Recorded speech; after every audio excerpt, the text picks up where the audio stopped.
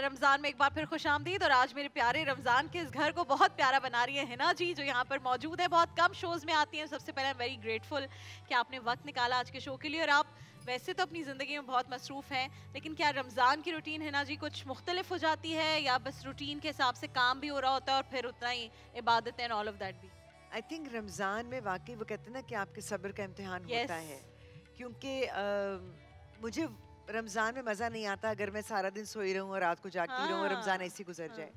तो रमज़ान का जो मकसद है ना कि आपने काम भी करना है दीन दुनिया साथ साथ लेकर चलना है। उसमें बहुत मज़ा है।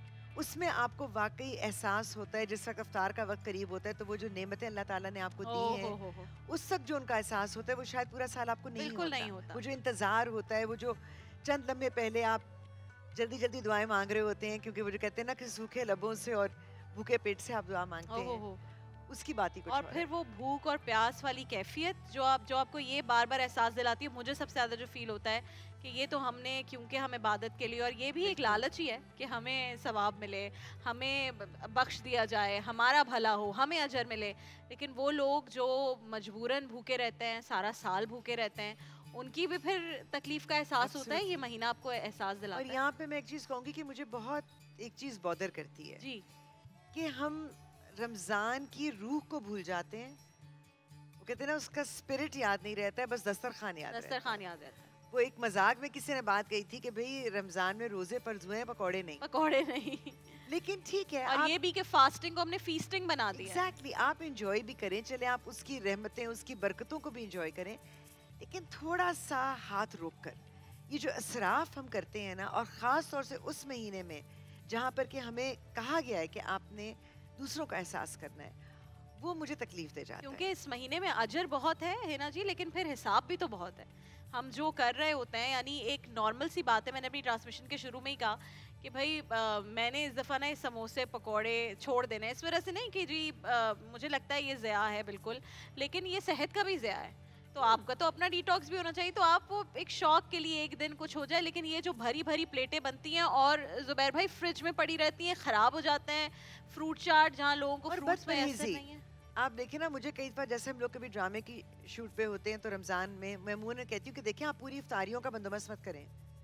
आपको बहुत शौक शौकीनी है ना चले आप एक दिन पकौड़े रख लीजिए हाँ। अगले दिन समोसे कर दीजिए एक दिन आप चाट रख दीजिए एक दिन फ्रूट चाट कर दीजिए और साथ आप खाना रखते हैं क्योंकि खाना तो सबने बहरहाल खाना है। वो जो आप इफ्तारियाँ भी पेट भर कर करते हैं और फिर खाना और फिर आप खाना भी खाते हैं फिर आपको सहरी की भी ख्वाहिश होती है तो वो रमज़ान पिछले साल मैं क्योंकि मैं तो ट्रांसमिशन ही कर रही होती हूँ ऑलमोस्ट हर साल पिछले साल मुझे एक दावत हुई अफ्तार की तो मैं अफ्तार के बाद पहुँची और वो एक ऐसी जगह पर थी जहाँ बुफे सिस्टम था। और मैं शौक में चली गई। It's not like I am a very good human और आई एम अ परफेक्ट मुसलमान लेकिन मुझे उस दिन ये इस बात का एहसास हुआ कि भाई दिस इज़ नॉट मैं कभी बुफे वाले रेस्टोरेंट्स में तो नंबर वन जा ही नहीं सकती बिकॉज़ मेरा इतना एपेटाइट नहीं है।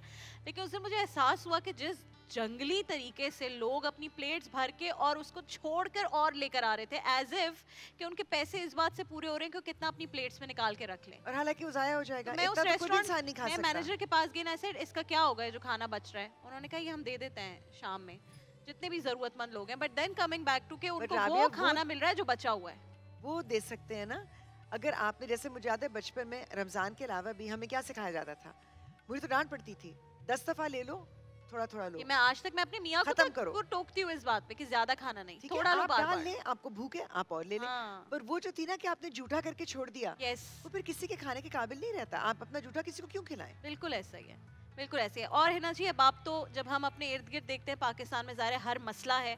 और जब इर्द गिर्द निकल कर देखें, बाहर लोगों की हालात सुने तो आपको अपनी ज़िंदगी पर बहुत सारे सवाल उठते दिखाई देते हैं। लेकिन आप तो उन इलाकों में भी गई हैं, जैसे आपने सीरिया में मुसलमानों के लिए बहुत काम किया, फिर आप टर्की गई अभी, और आपने कंटिन्यूसली बहुत ज़्यादा काम किया। वहाँ क्या देखा? How did it change your life और क्या मुश्किल आई क्या हुआ? मुझे ज़रा वो जर्नी प्लीज़ बताइए। राबिया मेरी लाइफ तो इस साल के शुरू में वैसे ही बहुत चेंज हो गई। बिल्कुल। I want to talk about that as well because बहुत अच्छा बहुत खूबसूरत मेरा साथ था मेरे शोहर के साथ। 30 इयर्स यू स्पेंट 30 इयर्स माशाल्लाह। 30 साल। और 30 इयर्स में मैं कहती हूँ कि मुझे उससे बेहतर दोस्त कोई नहीं मिला। मेरी खुशी का मेरे मेरे काम में मैंने बहुत मुश्किल काम ऐसे किए जहाँ पर मेरी जान को भी ख़तरा होता था।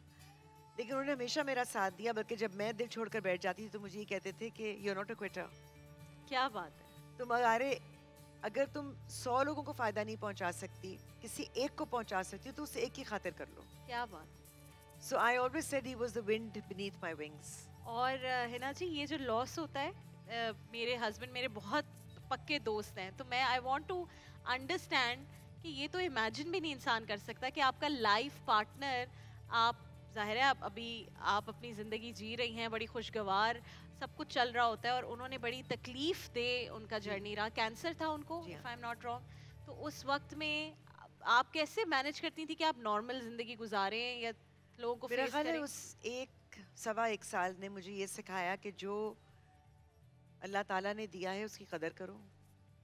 जितना वक्त एक दूसरे को दे सकते हो दो। काम ज़िंदगी के चलते हैं वो ज़रूरी भी हैं। मगर आपकी ज़िंदगी में कौन अहम है क्या अहम है वो प्रायोरिटाइज करना पड़ता है। मैंने साल भर काम नहीं किया। ठीक है। मैं उनके साथ ही थी। बल्कि जब मैंने दोबारा काम शुरू किया तो वो बीमार थे और मुझे यही होता था कि मैं ज़्यादातर वक्त उनके साथ गुजारूं पर वो मुझे कहते थे कि you have to live your life और इस तरह से सब कुछ छोड़कर नहीं बैठा जा सकता। तो मैंने तभी काम दोबारा शुरू भी किया।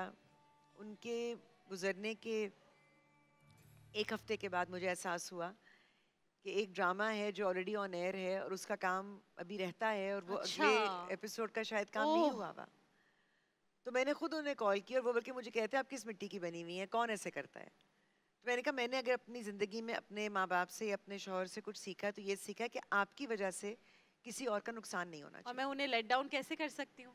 जो तो इतने सपोर्टिव मेरे लाइफ पार्टनर थे। और मैं, और मैं आपका नुकसान कैसे कर सकती मुझे पता है मेरे ना आने से सबका नुकसान हो जाएगा। आप वाकई किस मिट्टी की बनी है? So, ये तो बड़ी हिम्मत वाली बात है। हमारे यहाँ तो खातन हिना जी बहुत ज़ाहिर है मेरी सबसे ज़्यादा जो व्यूवर्स है वो खातन है। वो तो हिम्मत छोड़ देती हैं जीना छोड़ देती हैं। और मैं खानदान में बहुत औरतें जो रंग बिरंगे कपड़े नहीं पहनती। आपकी इजाज़त से एक बात कहना चाहूँगी मैं डायरेक्टली अपनी ऑडियंस से कहना चाहूँगी कि ज़िंदगी मेरे वालिद का जब इंतकाल हुआ था तो मैंने मेरी अम्मी ने मुझे बुलाकर शाम के वक्त कहा कि तुमने खाना खाया है?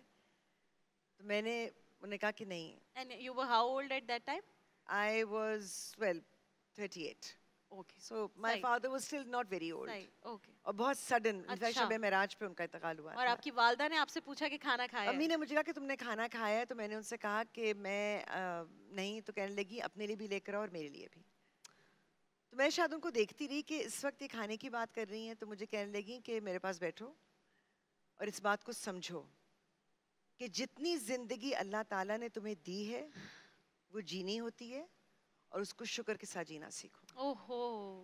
And that was the day of my father's जनाजा तो मैं आप सब लोगों को सब खातन को ख़ास तौर पे वो जिनके शोहर इस दुनिया से जा चुके हैं या चले गए हैं प्लीज़ इस बात को समझें कि अल्लाह ताला ने जितनी ज़िंदगी आपकी लिखी है वो आपने शुक्र के साथ जीनी है। क्योंकि मैंने उस तकलीफ़ के सफ़र में भी ये देखा कि जहाँ जहाँ बहुत तकलीफ़ आई वहाँ वहाँ अल्लाह ताला ने बड़ा कर्म किया। आप जिस भी मट्टी की बनी हो जितनी भी दलेर बनती हो अंदर से तो ऐसा होता है ना दिल नरम होता है ना। लेकिन मुझे बार बार ये एहसास होता है कि तकलीफ़ के वक्त जब अल्लाह ताला आपको दिखाता है ना कि मैं हूँ वो उस तकलीफ़ में भी आपको आसानी देता है। सोशल मीडिया नहीं मुझे लगता है कि उस वक्त इतना खुला नहीं था बल्कि बिल्कुल शुरुआत थी। अच्छा। प्राइवेट चैनल्स आए थे और लोगों को अभी लेकिन आप बड़े आ, बहुत टैबू टॉपिक्स को उठाती थी और एक्सेप्टेबिलिटी थी। मेरा जाती मसला था। क्योंकि मुझे हमेशा लगता है कि अगर आप बात करेंगे नहीं तो आप तो मसले को सुलझाएँगे कैसे? बिल्कुल ऐसा ही। जब आप उस इशू को समझेंगे नहीं तो आप उस पर सोचेंगे नहीं। स्टार्ट और spark the conversation I feel कि उसका एक तरीका कार होता है। आप बात को तहजीब के दायरे में अगर रखते हैं आप और बहुत सारी चीज़ों को भी मलूज़ खाते रखते हैं हाँ। तो आप कड़वी से कड़वी और सख्त से सख्त बात पे भी बात कर सकते हैं हाँ। लेकिन आज सोशल मीडिया की वजह से अनफॉर्चुनेटली हर बात का बतंगड़ बन जाता है हाँ। हर चीज़ को छाला जाता है सेंसेशनलाइज किया जाता है ये टॉपिक्स सेंसेशनलाइज नहीं होने चाहिए ये टॉपिक्स बड़ी ज़िम्मेदारी के साथ इन पे बात करनी ज़रूरी है। आजकल वो तरीका बन गया कि बात करनी होती है तो मुख्तलिफ़ मकातब फ़िक्र के सबसे गुस्से वाले कराम को आपस में बिठाया जाता है ताकि किसी तरह चिंगारी लगे और लड़ाई हो जाए। या कोई ऐसा जुमला बोल दें कि वायरल हो जाए और फिर सब एक दूसरे की जान के दुश्मन हो एक बार किसी ने पूछा था आलिम है बहुत नाम है उनका मैं नाम नहीं लूँगी। उन्होंने मुझे कहा कि आपका फिक क्या है? आपका अच्छा। मसलक कौन सा है? तो मैंने कहा जी मेरा कोई मसलक नहीं है। तो वो कहने लगे आप मुसलमान नहीं है. मैं कहा जी अल्हम्दुलिल्लाह हूँ. कहने लगे फिर आपका मसलक कैसे नहीं तो हो ही नहीं सकता। बोले मैं वो वाली मुसलमान हूँ जिनका ज़िक्र कुरान करीम मैंने सिर्फ़ पूछा मैंने कहा मुझे बताइए कि ये जितने सारे हम फिक फिरके इनकी बात करते हैं इनका ज़िक्र कुरान पाक में कहाँ है? हाँ। तो उन्होंने कहा नहीं कुरान पाक में नहीं है। मैंने कहा नबी पाक वसल्लम की सुन्नत में होगा। तो उन्होंने कहा उन्होंने पेशन गोई की थी क़यामत की। तो मैंने कहा जी वो तो बड़ी खतरनाक बात उन्होंने हम्म। कही थी। मगर उनके वक्त में ऐसा था नहीं था। असहाबा कराम के वक्त में नहीं था खुलफा राशिदीन के वक्त में नहीं था। ये बाद में इंटरप्रटेशंस हुई और कई सौ साल बाद हुई और जो इनको इंटरप्रेट करने वाले वो भी आलिम दीन बिल्कुल ऐसा ही आप ये नहीं कह सकते कि वो सही है या वो गलत है। हम्म। कुछ बातें उन्होंने अपनी समझ के तौर पर उनको इंटरप्रेट किया और उनको दुनिया को समझाया। किसी ने किसी और तरह से उसको देखा। मगर हतमी बात अल्लाह ताला की किताब बिल्कुल ऐसा ही है। तो मैंने उससे कहा कि जी मैंने बचपन में स्कूल में जैसे हमारी इस्लामियत की क्लास होती थी तो एक आयत मुझे अभी तक याद है। वातसिमु बिहबिल्लाह जमिया वला तफरकू। हाँ। और अल्लाह की रस्सी को मजबूती से थामे रहो और तफरके में ना पढ़ो। तफरीक में ना पढ़ो तो बिल्कुल। तो फिर आप मुझे बताएँ कि मैं तफरके में क्यों कैसे पढ़? सकती हूँ? मैं तो कुरान पाक को अपना मसला कैसे पढ़ने वाली और नबी पाक सल्लल्लाहु अलैहि वसल्लम की सुन्नत पे चलने वाली मुसलमान हूँ। मुझे इतना मुसलमान रहने बाकी चीज़ों से दूर रखे। Uh, हम जिस टॉपिक पर मुझे ज़रूर आपसे बात करनी है जो आपने काम किया टर्की में और सीरिया में कह रही थी आप वहाँ दाखिल कैसे हुई? After my husband passed away मुझे ये था मैं रमज़ान में कुछ नहीं करूँगी मैं I want to take a back seat मैं सिर्फ़ इबादत करूँ मैं अपना अपने लिए थोड़ा वक्त निकाल लूँ। लेकिन अल्लाह ताला को कुछ और मंजूर होता है। मैं एक यूके बेस्ड चैरिटी है एसकेटी वेलफेयर उनका नाम बड़ा खूबसूरत है। SKT stands for spreading kindness together. हाँ हाँ हाँ spreading kindness together SKT. SKT. तो SKT वेलफेयर के साथ मैं कुछ अरसे से काम कर रही हूँ। उनकी रमज़ान अपील होती है लाइव ट्रांसमिशन अच्छा, टेलीथॉन होती है यूके और यूएसए के लिए। वो मैं उनके लिए करती रही ज़बरदस्त। इस बार उन्होंने मुझे कहा कि जलजिला भी आया है वो ऑलरेडी सीरियन रेफ्यूजीज के साथ काम कर रहे थे। उन्होंने कहा इस बार जलजिला आया है वहाँ पे जो लोग अभी फिर से आबाद होना शुरू हुए थे फिर से खत्म हो गए आप क्या हमारे साथ चलेंगी। और मुझे ऐसा लगा कि अल्लाह ताला ने मुझे कहा कि तुमसे यही रमज़ान में इबादत बहुत तरह की होती है। तुमसे इबादत और मुशक्कत साथ लेनी है। क्या बात। तो वहाँ हम लोग गए टर्की गए टर्की से अंताकिया में बहुत डेवस्टेशन बिल्कुल। ऐसी बिल्डिंग्स खड़ी हुई हैं जिनके अंदर आप जा नहीं सकते। क्योंकि ऐसा लगता है कि जैसे एक हाउस ऑफ़ कार्ड्स होता है ना उस तरह से। उफ। कुछ ऐसी इमारतें थी जहाँ पर क्रैक्स ऐसे आ चुके हैं कि आप उसके अंदर दाखिल नहीं हो सकते। लोग खेमों में अपने घर के बाहर बैठे हुए देख रहे हैं कि ये हमारा घर था। अल्लाह जो एक पल में छिन गया। मतलब जो ऑलरेडी रेफ्यूजीज थे उनके पास पहले ही कुछ नहीं था। दस दस साल से वो लोग सीरिया में कैंप्स में रह रहे हैं। ना वहाँ पीने का पानी है ना वहाँ पर उनको गज़ा मिलती है ना वहाँ पर उनको आम, कोई छत है उनकी कोई सिक्योरिटी नहीं है। बीमारी है जानवर है। मतलब इतनी शदीद सर्दी के आप सोचें कि मैं कपड़ों के ऊपर अबाया पहनकर उसके ऊपर एक हुडी पहनकर उसके ऊपर एक जैकेट और स्कार्फ पहनकर मैं सो रही थी। तो उनके पास तो इतने कपड़े भी नहीं है। लेकिन मुझे और आप जितना करें वहाँ पर आपको लगता होगा कम है। कम है। मगर मुझे लगा कि वो लोग फिर भी अल्हम्दुलिल्लाह कहते हैं। अगर किसी की एक टांग नहीं है तो वो कहते हैं एक टांग तो है अल्हम्दुलिल्लाह। क्या बात है। अगर किसी का एक बाजू नहीं है वो कहता है दूसरा बाजू तो है अल्हम्दुलिल्लाह. अगर किसी का पूरा खानदान खत्म हो गया और वो बच गया वो कहता है अल्हम्दुलिल्लाह अल्लाह ने मुझे किसी वजह से ज़िंदा रखा होगा. क्या बात है। वहाँ पर एस वालों ने टर्की में एक ऑर्फनेज खोली है स्प्रिंग्स ऑफ़ होप के नाम से।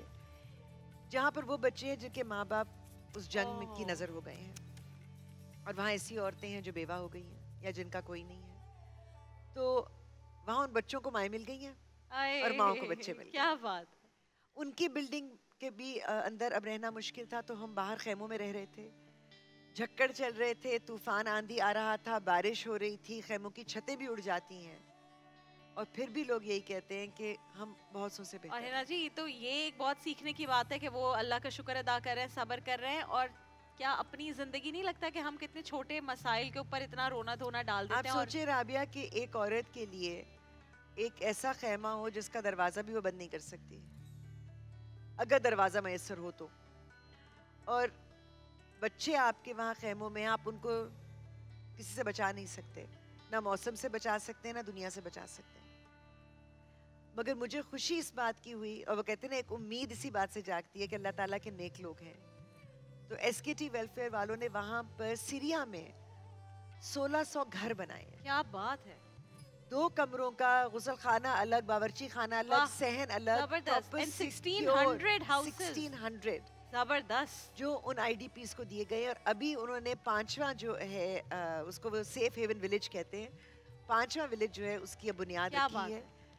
तो अच्छे लोग दुनिया में हैं। बिल्कुल है और यही अच्छे लोग हैं जो आपकी उम्मीद जगा कर रखते हैं। एस वालों के साथ है ना जी काम करती हैं I would like to personally say कि आप एस को सपोर्ट करें और डिटेल्स uh, अगर आपको चाहिए हिना जी का जो इंस्टाग्राम है आप वहाँ पर जा सकते हैं। आपने कुछ पोस्ट शेयर की हुई है मैंने रिसेंटली आज रात को हमारी एक और live transmission news news UK पर। यूके पर ठीक है।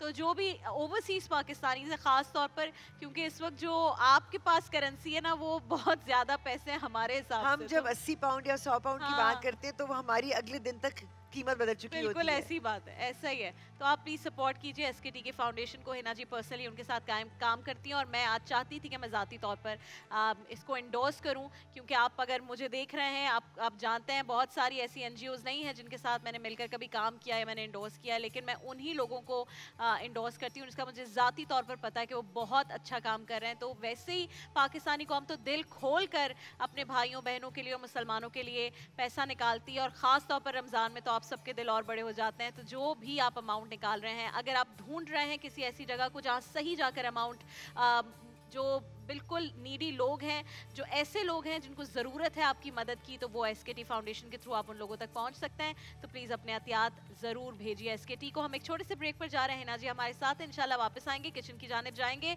द किचन मास्टर भी है और कुछ देर में हमारा क्विज कॉम्पिटिशन भी स्टार्ट हो जाएगा। सब कुछ प्यारा रमज़ान में एक छोटे से ब्रेक के बाद।